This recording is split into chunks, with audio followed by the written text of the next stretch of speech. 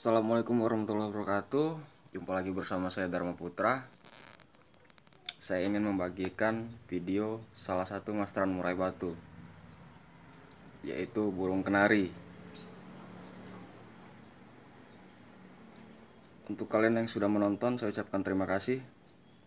Jangan lupa like, komen, dan subscribe. Selamat pagi, Assalamualaikum.